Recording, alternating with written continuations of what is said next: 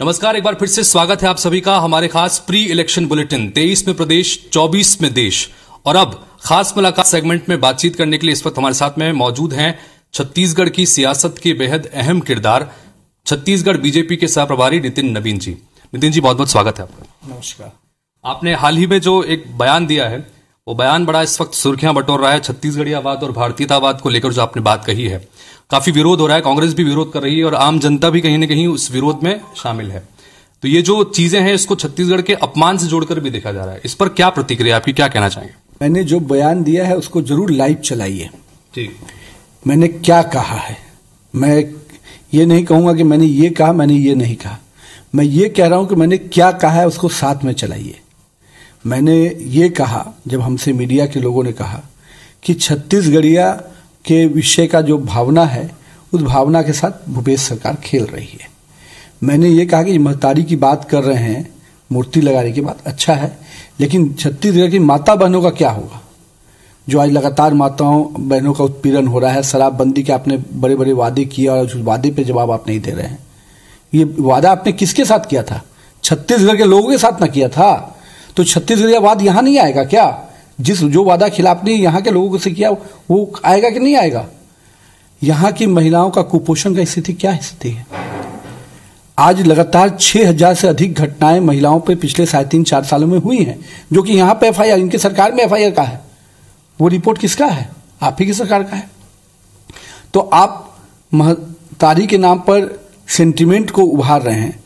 और छत्तीसगढ़ की माता बहनों का अपमान लगातार होते देख रहे हैं तो ये सवाल मैं नहीं उठाऊँगा। और ये सवाल उठाने से आप उसको डाइवर्ट करेंगे? यही है इस राज्य के मुख्यमंत्री का नियत। छत्तीस वादों से जो सरकार आई थी, आज छत्तीस वादे पूरे करने पर कोई जवाब नहीं देती। लेकिन हाँ इस पे ज़रूर बोली कि हम सेंटिमेंट से कर रहे हैं। अच्छा आपने जो एक लाइन कही है कि छत्तीसगढ़ियावाद की बात नहीं करते हैं, हम भारतीयतावाद की बात करते हैं। इसको कैसे डिफ्रेंशिएट करेंगे? और भारतीयतावाद आपकी नज़र में क्या है और छत्तीसगढ़ियावाद की स्थान उसमें क्या है? भारतीयता क्या है? राष्ट्रवाद है। और राष्ट्रवाद में सभी क्षेत्र उसमें इंक्लूड रहते हैं। चाहे वो महाराष्ट्रीय हो तो मराठीवाद भी है, बिहारी है तो बिहारीवाद भी है। इन सभी को मिलाकर ही भारतीय रहता है। राष्ट्रवाद की कल्पना हम उस प्रकार से नहीं करते हैं कि जम्मू कश्मीर को अलग कर देंगे और भारत से उसका केवल पैसा जाएगा। हम वो बात करते हैं कि जम्मू कश्मीर को भी हम जोड़ेंगे। कि जो जोड़ने की यात्रा कर रहे हैं, हम जोड़ने का काम करते हैं। गोवा भी और हैदराबाद भी प्रोविंस सरदार पटेल के रहने से जुड़ा, न कि जवाहरलाल नेहरू के रहने से जुड़ा। आज जम्मू कश्मीर अगर भारत का अभिन्न अंग बन पाया तो नरेंद्र मोदी और अमित शाह के कारण बन पाया, न कि सोनिया राहुल के कारण बन पाया। तो हम केवल बात नहीं करते, हम काम करके दिखाते हैं। जिस छत्तीसगढ़ की कल्पना को साकार किया, जब छत्तीसगढ़ का गठन की बात थी तो कांग्रेस विरोध में थी। आज छत्तीसगढ़ की सपना को साकार किसी ने किया तो अटल बिहारी वाजपेयी जी ने किया।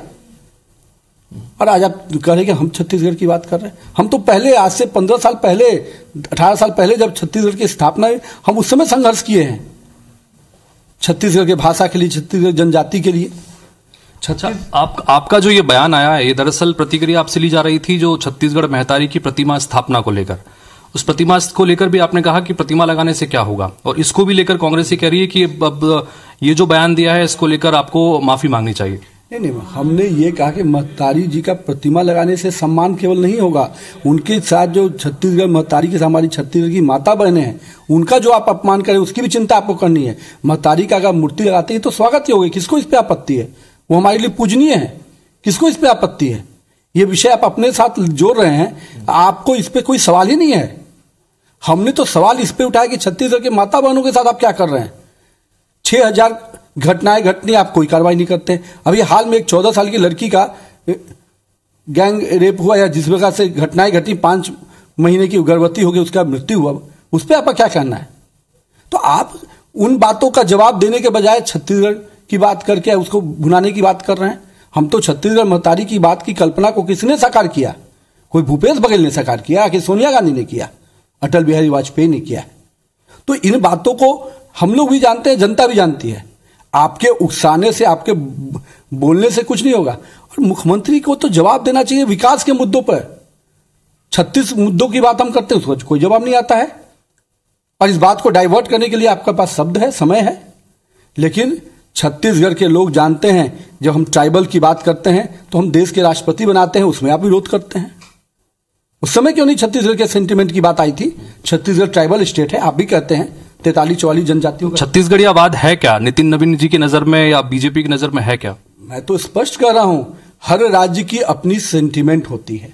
उस सेंटिमेंट के साथ राज्य काम करता है ये स्वागत योग्य है। इसमें किसी को आपत्ति नहीं। और क्या अरुण शाह जी हमारे प्रदेश अध्यक्ष छत्तीसगढ़ के नहीं है क्या? हमारे ए, अन्य जो पार्टी के पदाधिकारी और नेता हैं जो हमारे वरिष्ठ लोग हैं चाहे अजय चंद्राकर हो ब्रजमोहन हो, या जी हो, या जो जितने भी हमारे नेतागण हैं, डॉक्टर साहब हैं, क्या ये छत्तीसगढ़िया नहीं है क्या? अच्छा नितिन ज़मीन जी, आपको लगता नहीं कि ये जो बयान आपने दिया है, चुनाव में चूँकि अभी करीब करीब एक साल का वक्त बचा हुआ है छत्तीसगढ़ियावाद जिस तरह से भूपेश बघेल ने यहाँ पर सियासत की है, जो उनकी राजनीति करने का अंदाज है, और छत्तीसगढ़िया अस्मिता को बढ़ाने की बात करते हैं, उसकी संस्कृति को बढ़ाने की बात करते हैं, छत्तीसगढ़ ओलंपिक का आयोजन कर रहे हैं, तमाम चीज़ें हो रही हैं तो कहीं ना कहीं बीजेपी के लिए एक छत्तीसगढ़ियावाद जो उनकी तरफ़ से है, उसका काट निकालना वैसे भी मुश्किल था। ऐसे में क्या आपको नहीं लगता कि ये जो बयान है, इससे बीजेपी बैकफुट पे आ सकती है? क्या बयान है भाई? मैं अभी तक आपके बात को नहीं समझ पा रहा हूँ। आप मेरे बयान को चलाइए। कि छत्तीसगढ़ महतारी का जो अपमान का विषय है कहाँ हमने अपमान किया? हम तो उसको पूजनीय कह रहे हैं। लेकिन हम कह रहे हैं कि छत्तीसगढ़ की माता बहनों का क्या होगा? इस सवाल को उठाने पर क्यों आपको पीड़ा हो रही है? मैं आप इसको बना रहे हैं कि ये विषय उनका साथ जोड़ रहे हैं। छत्तीसगढ़ महतारी उनकी है क्या? वो हमारी भी है। छत्तीसगढ़ के जो चार करोड़ की आबादी है सबकी है। उस पर कोई सवाल कैसे उठा सकता है? वो सवाल हमने जब उस शब्द का प्रयोग किया ही नहीं किन शब्दों से अपमान हुआ है? वो तो बताना पड़ेगा ना भूपेश जी को कि मेरे किन शब्दों से अपमान हुआ है? और जब नहीं हुआ है तो फिर ये अपमान का विषय उठाने वाले आप कांग्रेस ये कह रही है और खुद मुख्यमंत्री कह रहे हैं कि बीजेपी को छत्तीसगढ़ियावाद में यकीन नहीं है। क्यों नहीं? छत्तीसगढ़ी छत्तीसगढ़ियावाद के वो प्रेरणा स्रोत हैं क्या? उनसे हमको सीखना होगा। जिस दिन जो छत्तीसगढ़ की स्थापना की कांग्रेस ने किया था क्या? कांग्रेस तो विरोध में खड़ी थी। उस दिन क्यों नहीं छत्तीसगढ़ियावाद की याद उनको आई? हम तो उस दिन है जो आज अठारह साल पहले जब हमने संघर्ष किया और तीन तीन राज्यों की स्थापना की तो हमने राज्यों के सेंटिमेंट के आधार पर। आज कांग्रेस ही और लालू यादव जी, झारखंड की स्थापना के क्या बारे में क्या कहे थे कि हमारे लास्ट पे झारखंड की स्थापना होगी? आज उसी कांग्रेस और लालू जी साथ में है, हमने झारखंड की स्थापना की। हमने छत्तीसगढ़ के संघर्ष को सम्मान दिया और छत्तीसगढ़ के लोगों का जो सेंटिमेंट था उसको छत्तीसगढ़ की स्थापना की। हमने उत्तराखंड में जो वहाँ का सेंटिमेंट था, उस उत्तराखंड की स्थापना की। हम तो उन राज्यों के भावनात्मक जो विषय थे, उनकी जो भावनाएँ थी, उसके अनुरूप हमने काम किया है। तो इसके वाहक वो कैसे बन सकते हैं? इसके वाहक तो हम हैं। और इस बात को भुनाने के लिए मीडिया के तंत्र से वो बोल सकते हैं। लेकिन हमारा स्पष्ट है कि हम लोग इसके वाहक हैं। ठीक है, मेरा चूँकि कार्यक्रम हमारा तेईस में प्रदेश और चुनावी कार्यक्रम भी है, इसलिए आज से मैं जानना चाहूँगा कि जो जो मेरा सवाल था कि भूपेश बघेल या कांग्रेस पार्टी जिस तरह से इस वक्त जो सियासत चल रही है, जो संस्कृति की बात करते हैं, जो छत्तीसगढ़ या सेंटिमेंट्स को लेकर बात, लेकर चल रहे हैं क्या इसको एक चुनौती के रूप में देखते हैं या इसके लिए कोई रोड मैप मैं उनसे दो सवाल पूछता हूँ।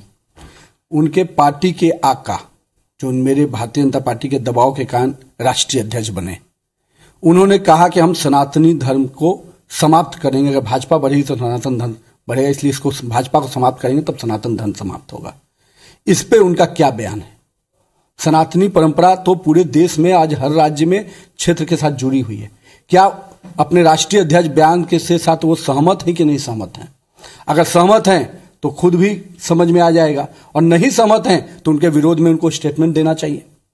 दूसरी बात, उनके पिताजी, जो राम के नहीं, रावण को पूजा करने की बात कर रहे हैं, और राम के कल्पना को इस देश से हटा रहे हैं, राम सेतु की कल्पना को हटा रहे हैं। तो इसका मतलब कि वो लोग, दोनों ही बातों पे, एक उनके पिताजी का बयान, उस पर वो क्या बोलते हैं? और एक उनके राष्ट्रीय अध्यक्ष जो उनके आका हैं उनके बयान। दोनों ही बयान तो कांग्रेस के अलग हैं। और आज भूपेश जी यहाँ पर राजनीति रोटी दूसरे से सेक लेंगे। देश में कुछ चलेगा राज्य में कुछ चलेगा दोनों जगह एक साथ चलेगा। हमारा क्षेत्र भी है तो हमारा छत्तीसगढ़ हमारा प्रांत है। हम लोगों ने इसके लिए काम किया है। आपने काम नहीं किया आप खाली राजनीति रोटी सेकने आए हैं।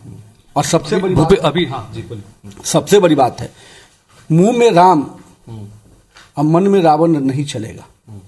भूपेश बघेल तो जी अभी हाल ही हाल ही में भूपेश बघेल सम्मान के साथ आप खाली ज़ोर कर भावना से खेलेंगे तो नहीं चलेगा। हाँ, मुख्यमंत्री भूपेश बघेल ने हाल ही में बयान दिया था राम को लेकर भी और गाय को लेकर भी कि कांग्रेस पार्टी ने राम को लेकर और गाय को लेकर हमेशा से उनके संवर्धन की और चिंता की है। भारतीय जनता पार्टी सिर्फ़ इसे एक वोट बैंक के रूप में देखती है। कांग्रेस ने खुद उनकी सरकार जब मनमोहन सिंह की थी तो राम सेतु और राम पर सवाल का एफिडेविट कोर्ट में फ़ाइल किया था। इस पर क्या बोलना है भूपेश जी को? ये हमारा एफिडेविट नहीं था, कांग्रेस की सरकार का एफिडेविट था। कोर्ट में कि राम और राम सेतु का कल्पना ही काल्पनिक है। इसी पर तो सवाल उठाया था। तो दिल्ली में राम का डेफिनेशन दूसरा होगा, बिहार छत्तीसगढ़ रायपुर में राम का डेफिनेशन दूसरा होगा। राम का डेफिनेशन एक ही होगा। मर्यादा पुरुषोत्तम राम है तो वो देश और दुनिया के लिए एक है। पिताजी की बोली दूसरी होगी या बेटा का बोली दूसरा होगा, ये नहीं चलेगा। और ये छत्तीसगढ़ की जनता देख रही है कि ये व्यक्ति छद्म युद्ध कर रहा है। चेहरे पे कुछ और नकाब लगाए हुए है और अंदर खाने मन में कुछ और चल रहा है। ये नहीं होने देंगे हम। लगातार कांग्रेस की तरफ़ से कहा जा रहा है कि पंद्रह साल यहाँ पर बीजेपी सत्ता में रही। लेकिन वो जो काम करने चाहिए थे, छत्तीसगढ़ी अस्मिता को लेकर या संस्कृति को लेकर या तमाम चीज़ों को लेकर कर नहीं पाए, इसलिए अब हमारी सरकार काम कर रही है और अब बीजेपी जो है उस छत्तीसगढ़ी आवाद को या इसको नकारने की कोशिश कर रही है। आप पूरी तरह से छत्तीसगढ़ी आवाद की बात कर रहे हैं। पंद्रह साल हमको मौका मिला, हमने सड़क, कॉलेज, पुल, पुलिया, चीज़ों का निर्माण किया, स्वास्थ्य के लिए हेल्थ सेंटर बनाए। हमने बच्चों के पढ़ने के लिए शिक्षा कर पिछले साढ़े तीन साल में कोई एक बड़ी सड़क जिसकी चर्चा ही बता दें। आज सड़कों की स्थिति क्या है? उसमें कौन चल रहा है? छत्तीसगढ़ के लोग चल रहे हैं। कोई दूसरे राज्य के लोग आके नहीं चलते हैं? उनकी चिंता आपको नहीं है? यहाँ के बच्चे अगर पढ़ेंगे, अच्छे स्कूल और कॉलेज में अच्छे स्थापना करेंगे तो कहाँ के बच्चे जाएँगे? यहीं के बच्चों का उत्थान होगा ना? आप जिस खेल की बात कर रहे हैं, क्या उस खेल के कोई एक ऐसा खेल आप निकाले जिसके एकेडमी की आपने स्थापना की? कोई कोचिंग सिस्टम आपने डेवलप किया? केवल भुनाने से सेंटिमेंट भुनाने से होगा। ये छद्म युद्ध नहीं चलेगा। स्पष्ट रूप से जनता देख रही है कि आपने कोई ऐसी प्लानिंग नहीं की है जिससे छत्तीसगढ़ के भविष्य का उत्थान हो। और छत्तीसगढ़ के सेंटिमेंट की बात है तो हम कहाँ उससे अलग हैं? वो इस बात को अलग अलग कैसे कर सकते हैं? हमने तो इस सपना को साकार किया है। मैं तो दो बार, चार बार बोल रहा हूँ। जिस दिन छत्तीसगढ़ के सपने साकार होते, उस दिन कांग्रेस कहाँ पर थी? विरोध में थी। तो आपको तो नैतिक अधिकार नहीं है इस विषय को बोलने का। जहाँ तक जनजाति की बात है, सामाजिक दृष्टि से, हमने हर समाज को जनजातियों को सम्मान दिया। हम तो पूछ रहे हैं कि जब राष्ट्रपति ट्राइबल स्टेट है ना, आप कहते हैं कि ट्राइबल स्टेट है जनजाति। जब ट्राइबल को हम राष्ट्रपति बनाने जा रहे थे, उस दिन आपने क्या किया? उस दिन भी तो आप उसके विरोध में खड़े थे। और दूसरी बात, जब किसान की बात करते हैं, आज छत्तीसगढ़ में किसान की हत्या होती है, मर्डर होता है या जो भी आत्महत्या करता है, जिस भी घटना में दो से चार लाख रुपए देते हैं। उत्तर प्रदेश में किसान की हत्या होती है पचास लाख पहुँचा देते हैं। ये कौन सा खेल है? यहाँ छत्तीसगढ़ बात टूट नहीं रहा है। अच्छा 2023 के जो रणनीति है या जो उसका रोड मैप है उसके संदर्भ में अगर आपसे बात करें तो जो अंतर है इकहत्तर सीट और चौदह सीट के बीच का इस अंतर को पाटने की क्या रोड मैप है? किस रणनीति से चल रहे हैं? बड़े बदलाव कांग्रेस भारतीय जनता पार्टी ने अपने संगठन में किए हैं। इस बदलाव से क्या वाकई में फ़ायदा मिलेगा? देखिए हमारे यहाँ तीन साल के अंदर संगठन में बड़े बदलाव होते रहे हैं। हमारे यहाँ कोई एक परिवार को ही मौका मिलता रहे और एक व्यक्ति ही पूरी पार्टी चलाए, ऐसा होता नहीं है। हमारे यहाँ हमेशा तीन साल के अंदर बदलाव होते हैं। तीन साल के अंदर संगठनात्मक दृष्टि से कई जगह बदलाव ज़िले से लेकर प्रदेश स्तर तक के बदलाव होते हैं। उसी क्रम में ये चीज़ होता है। हम लोगों ने हमेशा ये ध्यान रखा है कि हमारी नई टीम जो युवा टीम है, वो भी आए और हमारे अनुभव का पूरा उनको लाभ मिले, यानी हमारे वरिष्ठ नेताओं का पूरा सहयोग मिले। और स्वस्थ संगठन वही कहा जाता है, जिसमें इस प्रकार के परिवर्तन, अनुभव का मिश्रण हो और युवा का जोश हो, वही स्वस्थ संगठन कहलाता है। और हम लोगों ने स्पष्ट रूप से अभी तीन साल हमारे संगठन के पूरे हुए, उसी क्रम में राज्य में परिवर्तन हुए हैं। और बहुत अच्छी बात है कि एक सांसद, अरुण साव जी इस विषय को प्रदेश अध्यक्ष के रूप में अब देख रहे हैं और प्रदेश की संगठन में नई ऊर्जा आई है और इस ऊर्जा के साथ हमारे पुराने साथी और नए साथी मिलकर इस छत्तीसगढ़ के जो सपने हम लोगों ने देखे हैं जिस सपने को लेकर हम काम कर रहे थे उन सपने को साकार करेंगे। मुख्यमंत्री के चेहरे को लेकर सवाल अक्सर खड़े होते हैं। क्या कोई चेहरा साथ लेकर चल रहे हैं? देखिए समय आएगा तो सभी चीज़ें आगे की जाएँगी। भूपेश जब बने थे मुख्यमंत्री उसके पहले कौन कौन चेहरे थे? टी एस सिंहदेव, एक स्थान पर टी एस सिंहदेव को चेहरा बनाया हुआ था। शुरू से ही लोगों ने पब्लिक को गुमराह करने का प्रयास किया। एक जगह ताम्रत साहू को चेहरा बनाया हुआ था, एक जगह अपने बने हुए थे। समाज को अलग अलग तरीके से मोबिलाइज करने का प्रयास करते भारतीय जनता पार्टी सही समय पर निर्णय लेगी और स्पष्ट रूप से हम अपनी विचारधारा, अपनी सिद्धांत, अपनी नीयत जो हमारी है, उस पूरे विषय को लेकर जनता के बीच में जाएँगे। कार्यकर्ता हमारे लगातार संघर्ष कर रहे हैं। अभी युवाओं का विषय को हम लोगों ने बड़े आंदोलन का स्वरूप दिया। आज छत्तीसगढ़ के सवाल पे रोज़गार के सवाल पे, बेरोजगारी भत्ता के सवाल पे कहाँ ये सरकार जवाब देते हुए नज़र आ रही है? ट्राइबल्स के मामले पर जिस प्रकार से आरक्षण का खेल खेला इन लोगों ने, अपने केस के लिए नान घोटाले और बाकी घोटाले के लिए लाखों रुपए के वकील खड़े किए जा रहे हैं। और ट्राइबल्स के विषय पर एक भी वकील नहीं। कांग्रेस कहती है कि जितने स्थापित चेहरे थे उनको साइडलाइन करने की कोशिश हो रही है और फिर एक बार मोदी के चेहरे पर ही चुनाव लड़ा जाएगा। यहाँ पे कोई चेहरा नहीं है। नहीं नहीं कांग्रेस से मैं तो पूछ रहा हूँ कि 2018 में उनके पास कौन चेहरे थे? उसने चेहरे लाए थे क्या? उनके नेता सब थे सब लोग मुद्दे आज भी हमारे पास हम हमारा जब समय आएगा हम भी तय करेंगे। हम आपके कहने पर नेता थोड़े तय करेंगे। और बड़ा स्पष्ट रहिए भूपेश जी, आपको समय आने पर सब चीज़ का जवाब मिलेगा। छत्तीसगढ़ की जनता के साथ जो आपने विश्वासघात किया है छत्तीस वादों के साथ जो आपने वादा खिलाफी किया है, वो सब का जवाब आपको देना होगा। जनता तो हिसाब लेगी और सवाल पूछेगी। आपको निश्चित रूप से ये सवाल जो तीखे लगते हैं, जो पीड़ा देते हैं, उससे आप जो डाइवर्ट करने का प्रयास करते हैं, कोई डाइवर्सन नहीं है। छत्तीसगढ़ की जनता सीधे सवाल करेगी। तो और आखिर में ये कि क्या टारगेट लेकर चल रहे हैं? ज़ाहिर तौर पर एक तो चूँकि एक बड़ा चुनौती सामने है जिसका मैंने ज़िक्र भी किया क्या टारगेट लेकर चल रही है भारतीय जनता पार्टी 2023 के लिए? देखिए पूरी तरह से जहाँ भी छत्तीसगढ़ के आज करप्शन का विषय हो महंग आपको जिस प्रकार से लॉ एंड ऑर्डर की स्थिति बिगड़ी है जिस प्रकार से माफियागिरी यहाँ बढ़ा हुआ है बालू माफिया सैंड मा, शराब माफिया जिस प्रकार से चल रहा है और जिस प्रकार से छत्तीसगढ़ का क्या पंद्रह साल में रहा। हम लोग सबसे बड़ा प्रदेश जहाँ पीडीएस की चर्चा होती थी, आज आज क्या चीज़ की चर्चा हो रही है? कभी वो अधिकारी पकड़ा रहा है, कभी वो अधिकारी पकड़ा रहा है, कभी वो घोटाले में नज़र आ रहा है। आज तो मुख्यमंत्री अपना गिरबान बचाते भाग रहे हैं। खुद बोलते हैं कि ये आदमी गड़बड़ है, वो गड़बड़ है। और कौन है? तो ये आप ही से जुड़ा हुआ व्यक्ति है। तो मुख्यमंत्री अपने गिरबान को खुद बचाते चल रहे हैं। और ये सारे मुद्दे जो जनता के बीच में जाएँगे तो छत्तीसगढ़ में कांग्रेस कि जो इस बार चोट लेकिन पहुंचेगी। लेकिन मैं जनता की अगर बात करें सड़कों पर भारतीय जनता पार्टी उस तरह से नज़र नहीं आ रही अभी। इसके संदर्भ में क्या कहेंगे? क्योंकि मुद्दे आप बता रहे हैं। मुद्दे बता रहे हैं। दो साल से मैं आपके मीडिया के बंधुओं की बात सुनता हूँ कि भाजपा नज़र नहीं आ रही है। मुख्यमंत्री को हम लोगों ने उनके आवास तक को घेरा। रोज़गार भत्ता के विषय पर पचास हज़ार से ऊपर कार्यकर्ता युवाओं कार्यकर्ता जुटे। और लोगों ने सड़कों पर संघर्ष किया। लाठियाँ खाई। मुख्यमंत्री जवाब नहीं दे पाए। मुख्यमंत्री पीछे के दरवाजे से निकल गए। हमने कहानी संघर्ष किया। आज धान के मुद्दे पे लगातार भारतीय जनता पार्टी हर विषय को उठा रही आप सोचिए, जिस विषय को ये भुनाते हैं, बिहार छत्तीसगढ़ में धान की क्रय आज से दो साल पहले 24 लाख मीट्रिक टन था। आज इकसठ लाख तक है। कौन खरीद रहा है? ये पैसा कहाँ से आ रहा है? भूपेश की तिजोरी से आ रहा है, ये केंद्र सरकार पैसा दे रही है। पिछले एक दो, तीन सालों में हम लोग लाखों मैट्रिक टन धान किसानों के थी में खरीदे। क्यों हम हम तो छत्तीसगढ़ की चिंता कर रहे हैं। भूपेश इसके भुनाने का प्रयास कर रहे हैं।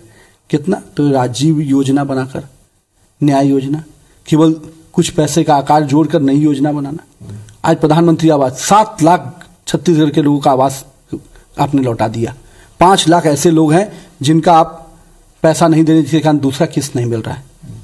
क्या स्थिति पैदा किए हुए ये छत्तीसगढ़ के लेकिन सरकार तो लगातार आरोप लगाती है कि केंद्र से सहयोग मिलता नहीं चाहे जीएसटी की राशि के संदर्भ में हो चाहे धान खरीदी के संदर्भ में हो। पॉलिसी बनाने में सभी वित्त मंत्री रहते हैं।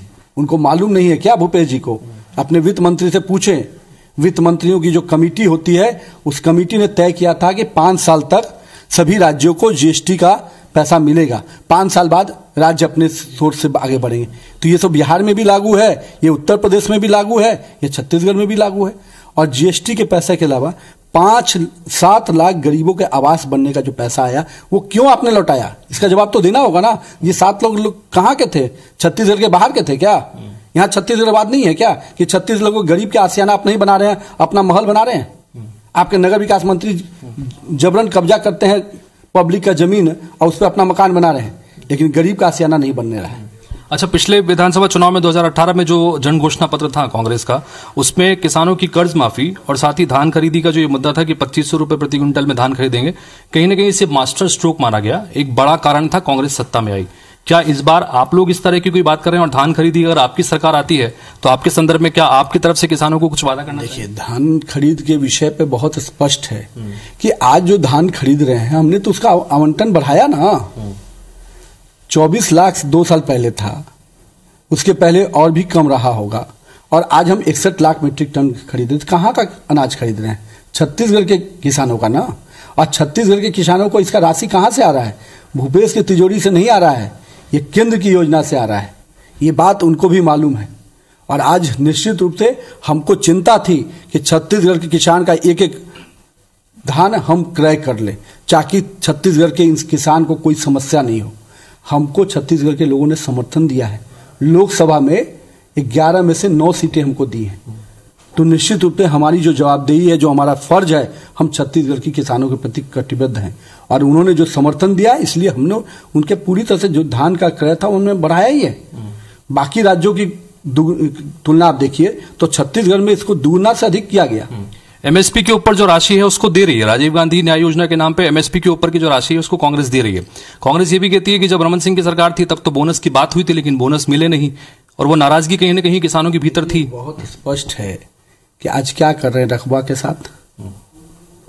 खेतों के पटवन को जो हम लोग पट्टी बोलते पटवन बोलते हैं, यहाँ पर भी हम लोग रकबा बोलते हैं। उसके साथ कौन सा खेल खेल रहे हैं? मिलिंग के हिसाब से कौन सा खेल खेल रहे हैं? किसानों के साथ केवल एक एमएसपी का खेल खेल रहे हैं और निश्चित रूप से समय आएगा तो इसका भी जवाब दिया जाएगा। अभी तो निश्चित रूप से आज हमने किसानों के जो धान है, एक रथ किस जितना धान किसान यहाँ उपजा रहे हैं सबको हम क्रय कर रहे हैं। तो इसका लाभ किसको मिल रहा है? कल हम 24 लाख मीट्रिक टन लेते थे, उसके पहले और कम लेते थे। आज हम इकसठ लाख मीट्रिक टन ले रहे हैं। तो ये फ़ायदा किसको मिल रहा है? ये यहाँ के किसान को मिल रहा है। इसलिए यहाँ के किसान को भी पता है कि आज नरेंद्र मोदी है तो निश्चित रूप से उनके किसानों का पूरा जो मूल्य है वो मिल रहा है। कितनी सीटों का टारगेट लेकर चल रहे हैं? देखिए चुनाव चुनाव होता है। और मेरा स्पष्ट मानना है कांग्रेस के खिलाफ जिस प्रकार से उनके विधायकों की एंटी इनकम्बेंसी है एक एक विधायक और मंत्री जिस प्रकार से पैसे की बटोरने में लगा हुआ है और सरकार के जो माफिया तंत्र अपने आप में है, वो निश्चित रूप से कांग्रेस के सफाया की ओर संकेत कर रही है। और हम तो ये पूरा प्रयास करेंगे कि इस बार कांग्रेस का यहाँ से सफाया हो। नितिन नवीन जी बहुत बहुत शुक्रिया हमसे बात करने के लिए। तो हमारे साथ में छत्तीसगढ़ बीजेपी के सहप्रभारी नितिन नवीन जी थे, जो कि आश्वस्त नज़र आ रहे हैं कि अगर 2023 में चुनाव हुए तो भारतीय जनता पार्टी यहाँ पर जीतेगी। बहरहाल, जो छत्तीसगढ़ीवाद और भारतीयतावाद को लेकर उन्होंने बयान दिया है, उस बयान पर अभी भी कायम है कि उनका कहना है कि कोई गलत बात उन्होंने नहीं कही है। बहरहाल, अब ये जनता के ऊपर हम छोड़ते हैं कि इस, इन सबको लेकर वो किस तरह से देखते हैं। फ़िलहाल, इस खास मुलाकात में फ़िलहाल इतना ही। अगली बार फिर मुलाकात होगी, राजनीति के एक और धुरंधर के साथ। नमस्कार।